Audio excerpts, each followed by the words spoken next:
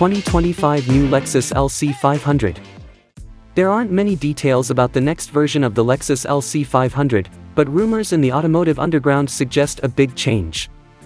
The car's unique shape is likely to stay the same, but the lines and curves will be sharper and more noticeable. The Lexus signature spindle grille is likely to be rethought, maybe with a bigger, more powerful look. You can expect the front and back of the car to be lit up with modern lighting technology that may include lasers.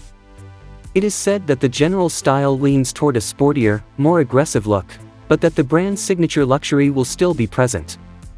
The 2025 LC500 is likely to have big improvements under the skin. Although there aren't many details available, people in the industry think it might have a hybridized drivetrain that combines a powerful gasoline engine with electric motors.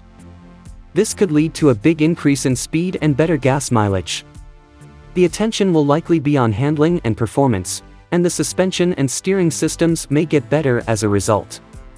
The platform of the car might also need to be changed to make room for the new engine and chassis. The hybridization of the engine should lead to very good fuel economy numbers, which could make the LC500 the most fuel-efficient car of its kind. Estimates put the total city-slash-highway mileage in the mid-30s mpg range, which is a big jump from the current model. This could be done by carefully designing the electric motors and battery pack so that the car could run on electricity alone for long periods of time.